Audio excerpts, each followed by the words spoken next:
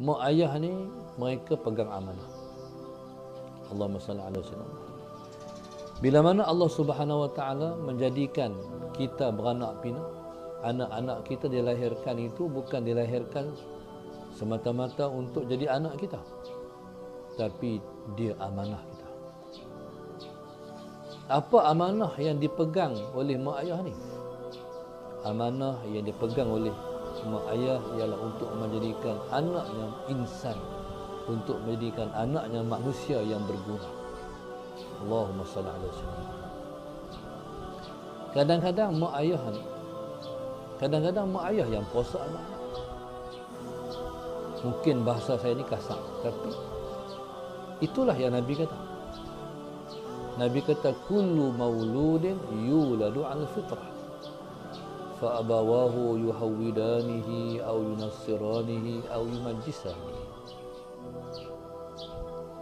Nabi sebut setiap anak dilahirkan dalam keadaan suci, bersih, fitrah. Maka mak ayah lah yang mewarnakan dia sama ada menjadikan dia Yahudi, menjadikan dia Nasrani, menjadikan dia Majusi. Itu mak ayah ni. Kadang-kadang mak ayah ni dihantar anak mengaji sekolah. Tapi Allahumma salli ala sayyidina Muhammad tujuan dia hantar sekolah tu bukan tujuan akhirat. Tujuan dia dunia.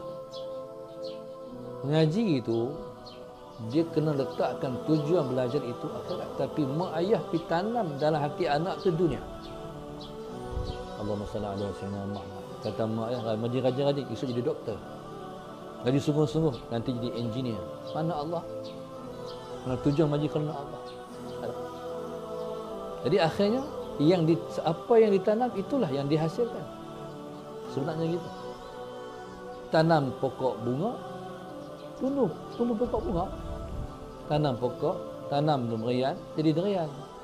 Tanam rambutan jadi rambutan. Tanam tu apa? Tanam tu dunia jadi dunia Allah budak tu. Jadi siapa yang merosakkan anak-anak? Mak ayah sendiri yang merosak anak-anak.